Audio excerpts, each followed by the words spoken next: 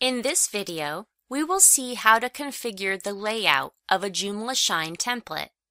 As usual, JSN Epic is used as an example, but all JoomlaShine templates can be configured in the same way. Here is the full layout of JSN Epic.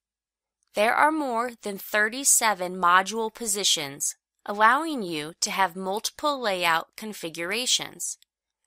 All module positions are collapsible, which means if you don't use some positions, then they will be automatically collapsed to give space for neighboring positions.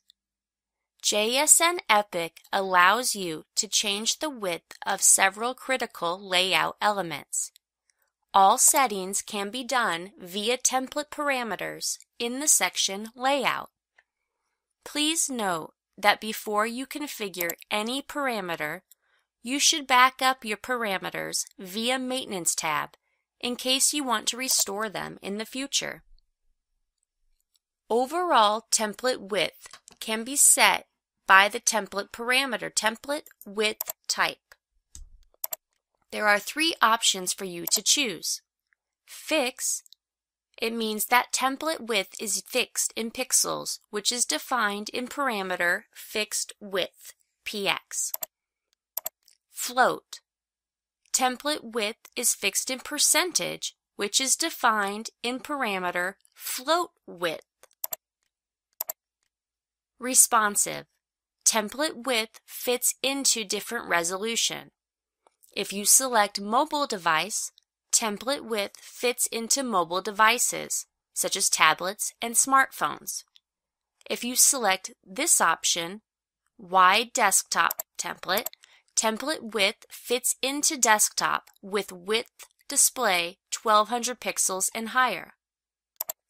Now change the template width to float, and the percentage of float definition is 95%. Save the change and go to the back end.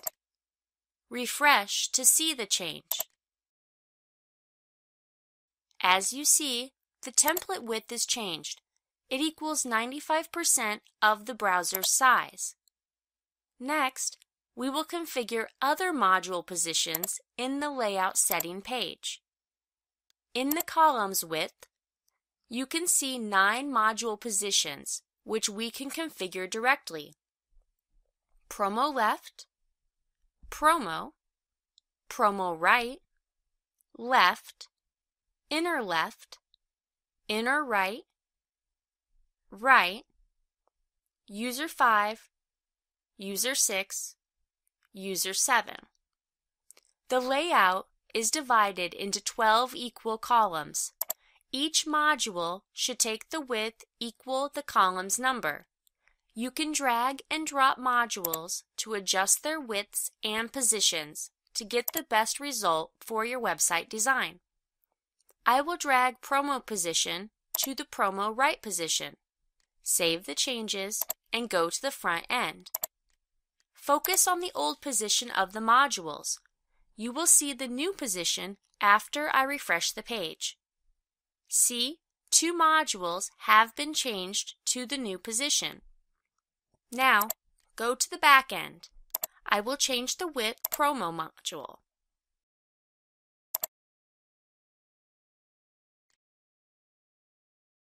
Save the change and go to the front end. Refresh the page. Here is the promo module.